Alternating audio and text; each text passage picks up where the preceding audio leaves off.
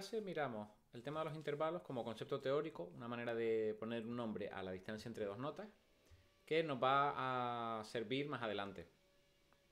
Lo que em, yo quería mostrar un poco cómo podríamos usar el tema de los intervalos como mm, herramienta para componer. Em, voy a usar la escala de sol mayor, que no la hemos usado hasta ahora. Eh, la voy a sacar rápidamente con la receta. Dos tonos, un semitono, tres tonos, un semitono. Tono, tono, semitono, tono, tono, tono, semitono.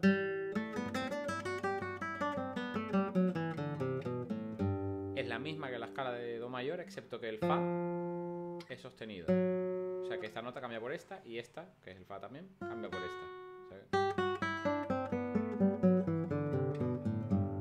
Vale, entonces em, la idea es la siguiente: coges un intervalo, no que suene, que te suene bien, por ejemplo, de tercera. Cada una de las notas las subes una. Una, pero en la escala. O sea, no es que subas las dos un semitono las dos un tono, sino subes a la siguiente nota. El si sube al do porque es la siguiente que le toca y el sol sube al la porque es la siguiente que le toca. Y podemos seguir este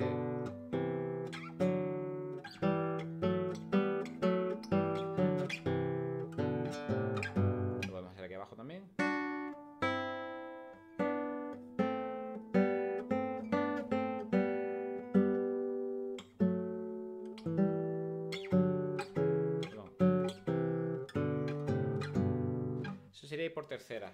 Sería, se llaman terceras paralelas, porque van, paralelas. Suben y bajan juntas. Eh, puedes intentarlo con otros intervalos, pero por ejemplo el de cuarta.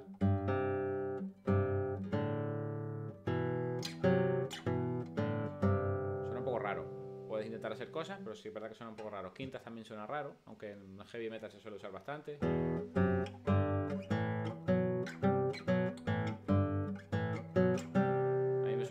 Romana. ¿Vale? El intervalo que yo creo que más se usa de esta manera, junto con el de tercera y el de sexta, el de sexta se usa bastante también. Perdón.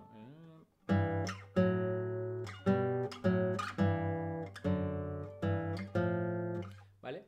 El el de sexta se usa bastante, pero el que se usa un montón es el de décima. O sea, el de tercera hice antes, pero la tercera la subes una octava.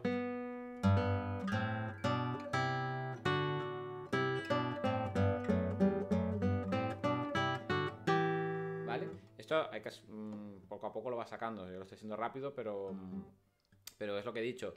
Cuentas primero el intervalo de décima, que si quieres cuentas hace 1, 2, 3, 4, 5, 6, 7, 8, 9, 10. Y ahora el sol sube al la, sube a la siguiente nota y el si sube al do, que es la siguiente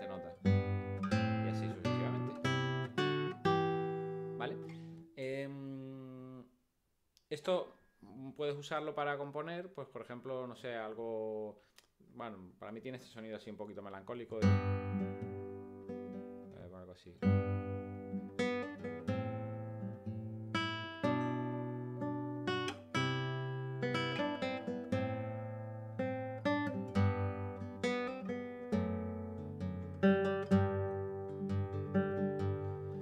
Lo que he hecho es cada vez que quería armonizar, tocaba mm, la décima. O sea que aquí tocaba el sol, porque la nota de melodía era el si, la con el do,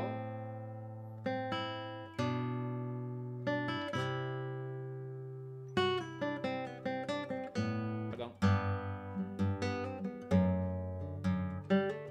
Es verdad que en algún momento hay que acabar en sol en vez de una décima, en vez de aquí, aquí porque si no, no parece que no acaba nunca. Si vas haciendo así...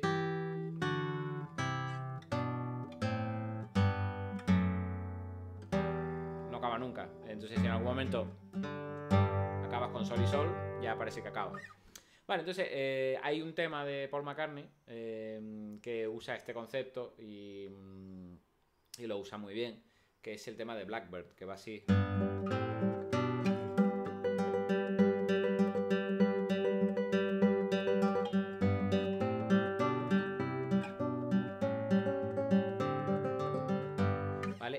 Sale de la escala muchas veces, eh, pero todo lo prácticamente todo lo que hace es ir por décimas.